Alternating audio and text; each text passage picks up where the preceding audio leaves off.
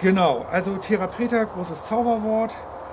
Ähm, was haben wir jetzt hier gemacht? Wir haben ja jetzt ähm, aus diesen wunderbaren Holzpellets, und das ist eine Menge von zwei Kilo, ungefähr diese Menge von abgelöstem Material gemacht.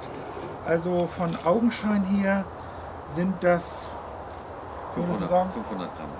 Ja, aber im Prozent äh, von der so. Ausgangsmasse würde ich mal sagen, es sind das 40 Prozent. Ne? Ja, 30 bis 40 Prozent genau. haben wir jetzt hier an äh, wunderbarer Holzkohle bekommen.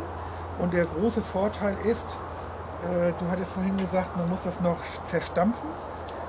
Ja, das- oder zerreiben, genau. Das, Brö das Brösel. Ja, das bröselt so auseinander, ne? Sag mal Bescheid. Genau. Ja, ne? Beste Holzkohle.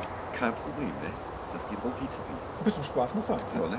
Ich auch mal. Sonst, sonst äh, ich friere mir hier sowieso schon gleich an. Also Ich hab Sonnenschein, aber Richtig kalte Füße jetzt. Ich meine, aber warme Hände, ne? Das ist echt die Hauptsache. ja, ich hatte gerade eben unser Schamotterohr runtergenommen. Ja. Das war richtig schön warm. Ja. Also ein richtiger Ofen. Aber zu dem Kapitel, was man sonst noch machen kann, kommen wir gleich. Also jedenfalls bin ich jetzt erstmal Therapreta Schwarz. Also hier Leute wirklich aller allerbestes Material. Und jetzt kommen wir nochmal zu der Ausführung, die wir vorhin schon kurz angesprochen hatten. Aber vielleicht habt ihr ja das eine Kapitel gar nicht mitgekriegt. Ralf, das hier kann man nicht einbuddeln. Ne? Nee, soll, sollte man das einfach nicht in die Erde reinstopfen, sondern äh, man sollte das da vorher mahlen und, oder, Ja, zu, oder zer- zerbröseln, zerbröseln. Bröseln. Ne? Und dann äh, wird das aktiviert. Und zwar mit äh, Kuhurin. Ja, das heißt also mit Gülle oder mit Urin von Tieren, also ob es jetzt Kühe sind oder vielleicht auch Schweine, äh, das ist egal.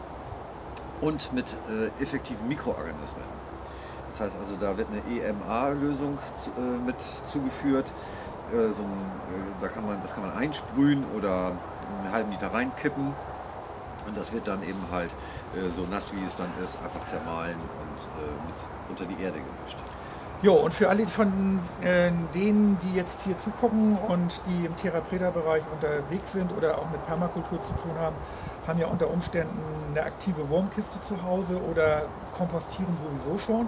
Also dieser ähm, Holzkohleanteil, den wir jetzt hier haben, äh, zerbröselt, zerstampft oder zerkleinert, gehört ganz einfach äh, in den Kompost mit hinein.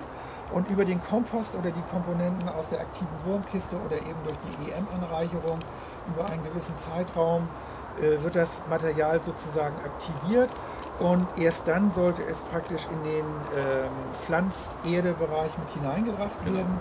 Denn wenn man jetzt nicht aktivierte Holzkohle mit einsetzt, zieht die Holzkohle erstmal aus dem Boden die ganzen Nährstoffe ab, bis sie selber angereichert ist. Und es gibt ausreichend viele Versuche, also auch sogenannte Kresse-Tests, die gezeigt haben, dass eben Kresse in ähm, Holzkohle angereicherten Boden ohne Aktivierung ähm, erstmal gar nicht richtig gedeiht. Äh, und erst dann, wenn die Holzkohle selber gesättigt ist und aktiviert wurde, ähm, können auch die Nährstoffe wieder an die äh, Pflanzen und Wurzeln abgegeben werden und äh, dadurch entsteht der große Nutzen. Also ich mit Ja. meinen schwer, schweren schwarzen Händen hier habe erstmal ordentlich gebröselt. Ähm, das ist eine ganz wunderbare Geschichte, ist also auch nicht unangenehm, ist eigentlich eine ganz, ganz tolle und schöne Geschichte. Nur Leute, bröselt nicht das Zeug, was hier rauskommt, das muss erstmal mit Wasser abgelöscht werden. Ja, das ist natürlich wichtig. Sonst Ähm, habt ihr nachher ein schönes Loch in, der- in der Ja. Hand und äh, also ja, bitte das ist aber ja auch klar. auch an ne? dieser Stelle So doof sind die ja nicht. Also wer in Amerika Naja, drei Millionen äh, Schadensersatz kriegt dafür, dass er sich warmen Kaffee über die Beine gekippt hat, sollte auch bei uns eine besondere Permakultur-Therapreta-Warnung bekommen. naja, ich meine, wenn das TTIP-Abkommen hier durchgesetzt wird, dann kann uns natürlich das Gleiche passieren. Das wollen wir hiermit verhindern. Ne? Ja, Leute, also nicht das, was jetzt hier gerade vor euch hinbröselt, äh, beziehungsweise brennt und äh, aussieht wie Holzkohle, hinterher unterschätzen. Ähm, Ralf, also das ist jetzt mal ganz und gar komplett Spaß beiseite. Äh, wenn man jetzt sozusagen äh, die Reste in einen äh, solchen Eimer hineingibt, äh, was hast du selber erlebt? Gute Frage, was er überlegt. Hast du mir das nicht erzählt? Dann war das Konstantin. Ähm, also selbst nach einigen Stunden Ach so, okay, ist da ja, noch das ist so mir- viel Blut das- und Hitze drin. Jetzt weiß ich wieder, natürlich, klar. Das ist mir passiert. Äh, Ach, ich, das wusste, ist doch dir passiert? ich wusste jetzt nicht genau, wo du äh, darauf hinaus wolltest, aber das ist mir passiert.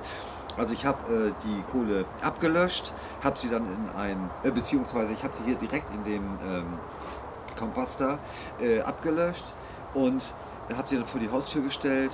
Ja, und dann bin ich wiedergekommen und da war nur noch Asche drin. Also das kann sein, dass ein bisschen Glut noch in der Mitte enthalten ist und dass dann tatsächlich äh, das Feuer wieder entfacht oder beziehungsweise die Glut wieder entfacht und äh, ja, dann wundert man sich nachher, dass also nichts mehr drin ist.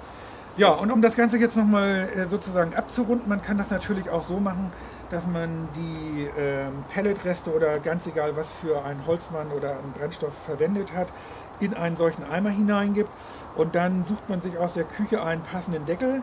Ähm, meistens hat man davon ja einige rumfliegen, die man sowieso nie einsetzt und unter Luftabschluss ähm, äh, lischt natürlich die Glut auch. Genau, ja, das äh, würde ich auch sagen.